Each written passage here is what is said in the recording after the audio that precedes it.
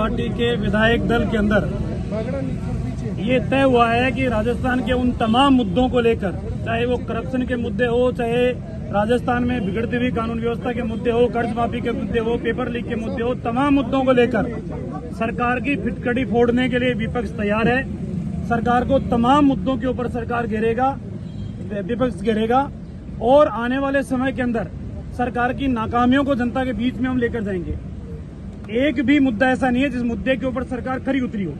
पाँच साल के अंदर मुख्यमंत्री किसी सदन के अंदर बजट पेश करे और वो बजट धरातल के ऊपर नहीं आए, इससे बड़ा दुर्भाग्य हो नहीं सकता।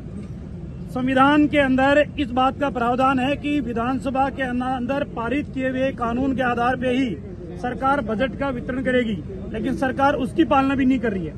मन चाहे तरीके से, एक तरीके से आर्थिक अपराध करने का काम भी सरकार कर रही है। तो आने वाले तमाम इन मुद्दों पे सरकार को हम घेरेंगे।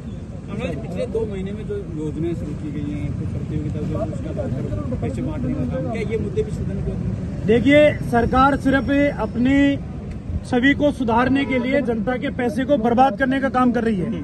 कहीं आवश्यकता नहीं थी सरकार को कि पंजीयन के नाम पर लोगों को इकट्ठा करके और कांग्रेस के घिसे पिटे नेताओं के भाषण सुनाने का काम करे। आज जनता के बीच के अंदर बिजली के फ्यूल चार्ज की बढ़ी हुई राशि त्राईमाम त्राईमाम जनता कर रही है। पेपर लीक के मामले में लाखों परिवार बर्बाद हो चुके हैं। कर्ज माफ़ी के अंदर उन्नीस हज़ार से अधिक लोगों की जमीनें नीलाम हो चुकी है। तो फिर सरकार कहीं की वाहवाही लूटने का काम कर रही है? अठारह तारीख को अजमेर में भी बड़ा प्रदर्शन रहेगा। सचिन पायलट तो उस मुद्दे को भूल गए।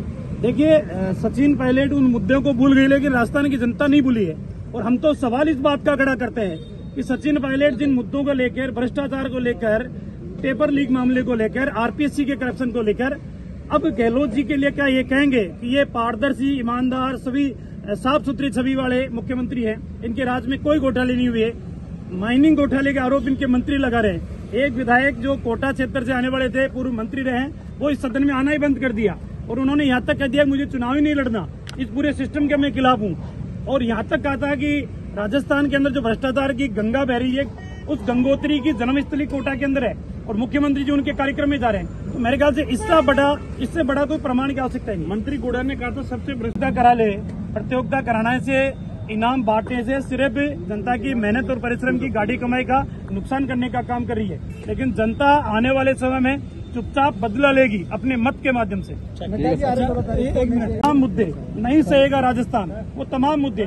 भ्रष्टाचार का मुद्दा पेपर लीक का मुद्दा, कर्ज माफ़ी का मुद्दा, बेरोजगारी भत्ता का मुद्दा, संविदा कर्मियों को नियमित करने का मुद्दा, सरकारी भर्तियों के अंदर धांधली जो हुई है, उनके मुद्दे, खान आवंटन के मुद्दे, ज़मीन घोटाले के मुद्दे सचिवालय के अंदर जिस तरीके से दो करोड़ इक्कीस लाख रुपए मिलना, एक किलो सोना मिलना, इन तमाम मुद्दों को लेकर नहीं सहेगा राजस्थान। मासूम बच्चों के साथ दरिंदगी हो जाए, पुलिस की कस्टडी के अंदर हत्या हो जाए, फिर भी सरकार कहेगी हमारी कानून व्यवस्था अच्छी है। मेरे ख्याल से इनसे ज़्यादा बदतर स्थितियाँ कोई हो नहीं सकती।